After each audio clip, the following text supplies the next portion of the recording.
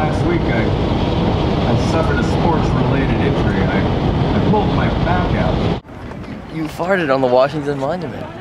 That's awesome. Because I'm proud to be an American.